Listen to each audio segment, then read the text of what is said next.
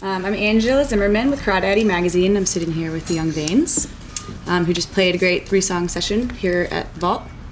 Um, so to start off, I want to kind of just talk about your all sound. Um, I think it's clear that you guys are very influenced by the '60s.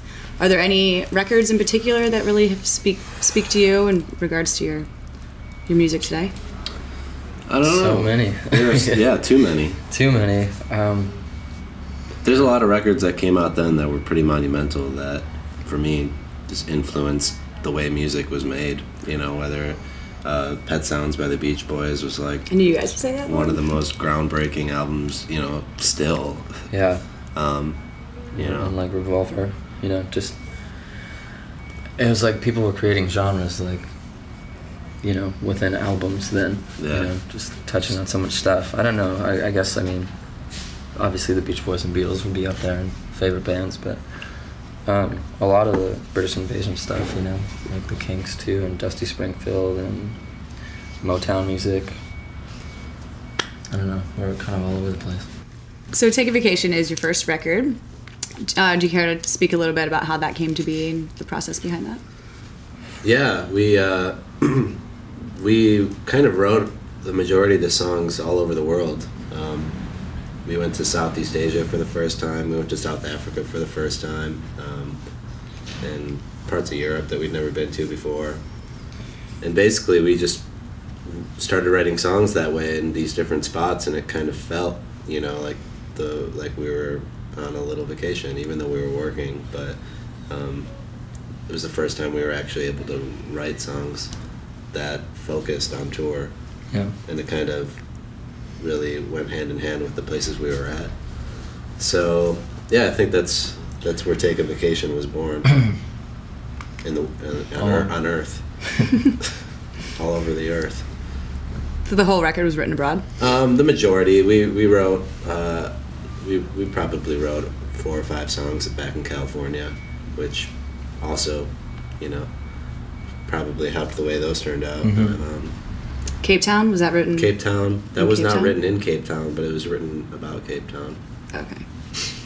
Obviously. yeah. How was how's this tour been going?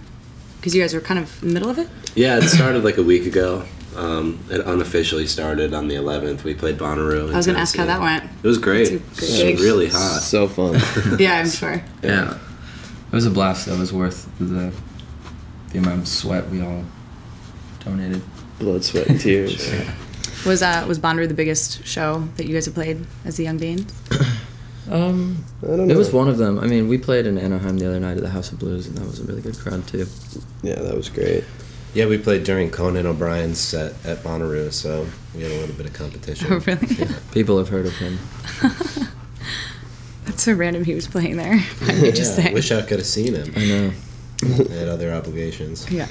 Do you think you'll be playing more festival gigs? Is that like? Do you like those sort of settings? Yeah, I do. Hope so. I, it's it's nice to just be in the mix of it all around music and so many different kinds of music. People seem to be a little bit more open minded about your you know whatever they're watching instead of maybe going to a concert and having an idea of what they're going to expect. You know. Right.